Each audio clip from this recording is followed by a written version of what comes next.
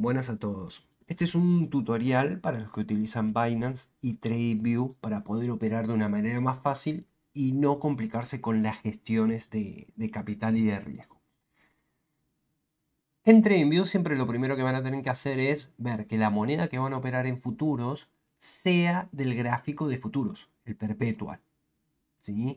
Por ejemplo, esta moneda rdnt.usdt.p y siempre de Binance, si no, no va a funcionar. Una vez que tenés definido eso, abajo ven que figura la, parte, si yo abro por ejemplo otra, otra ventana, dice panel de trading. Cuando apretás panel de trading te aparecen todos los brokers que se pueden conectar. Bueno, aquí está Binance. Cuando le das a clic a Binance, vas a tener que loguear para que te quede vinculado Binance a TradingView. Una vez que haces eso, te va a aparecer un botoncito verde aquí, ¿ven? Entonces, ven, yo ahora no tengo nada abierto. Entonces, bajo aquí. Cada vez que ustedes operen, les van a aparecer estas líneas. Acá, estas flechas. ¿Qué son esas flechas? Por ejemplo, yo acá en esta entré en short acá. Entonces, aquí te aparece como que van todas las ventas y aquí cuando vende este aparecen todas las compras. O sea, porque alguien te está, estás comprando, alguien te está comprando para que vos cobres tu short. O viceversa si fuera al revés. Vamos a hacer un ejemplo ahora de cómo funciona y lo bueno que tiene este, este sistema. ¿Vieron cuando se van acá a la parte de herramientas de previsión y medida? Bueno, cuando usan posición larga o corta, bueno, esto se usa con eso. Por ejemplo, posición corta aquí. Vamos a decirle que yo quiero entrar ahí con un stop cortito. Eh, arriba justo el mismo stop que usé antes voy a usar. 1.11.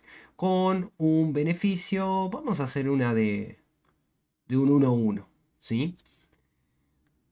Una vez que ya tenés creado Binance y ya está adentro, logueado, le das al botón derecho, crear una orden con precio límite. Y te va a aparecer el panel. Aquí te va a aparecer el riesgo.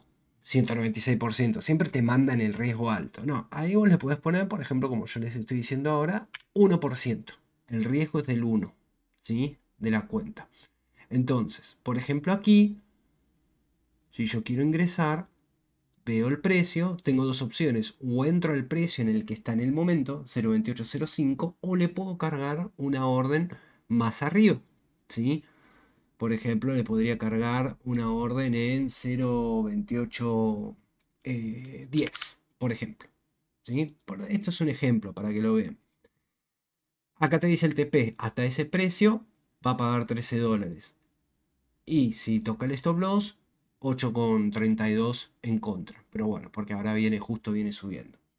Entonces, voy a cargar mi orden en 28. Bueno, justo la moneda está subiendo.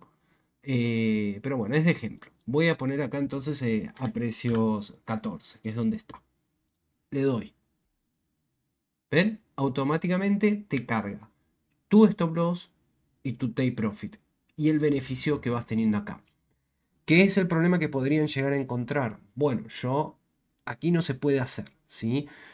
Si uno, por ejemplo, quisiera mover un break o quisiera agregar varios TP, eso lo debes de hacer desde la misma aplicación de Binance, ¿sí? Solo desde Binance lo puedes hacer, no de TradingView. Entonces, vas, por ejemplo, y yo digo ahora que quiero poner un, un TP, eh, por decir un ejemplo, voy a ir a Binance y voy a utilizar un, TP intermedio. Le voy a decir que quiero cobrar el 50%, pero en la zona de 0.2789, por ejemplo.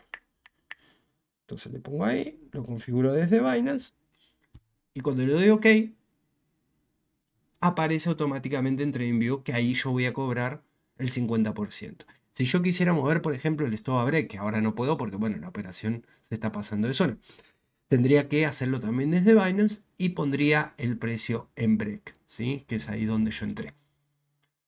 Básicamente es eso, entonces uno también le va quedando registro de lo que va haciendo. Esto no se borra siempre y cuando vos desactives el broker y lo desconectes. Si lo desconectas, vuelve todo a, a la normalidad. Espero que les haya servido. Vean que aquí está abierta. ¿Ven? La abre. Obviamente la va a abrir a la palanca que ustedes tengan aquí cargada. ¿sí? Si tienen un por 20, es por 20, pero siempre es con el 1.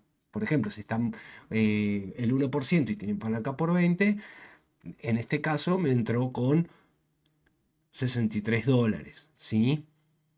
Aquí, ¿ven? Y palanca por 20. Pero voy a perder solamente los 9 dólares que, u 8 dólares que, marca eh, lo que yo le cargué, ¿sí? Así que esto también les va a servir para saber cuándo, eh, si no están muy familiarizados con las palancas, ya con ese monto van a saber cuánto ustedes pueden arriesgar y cuánto pueden ganar.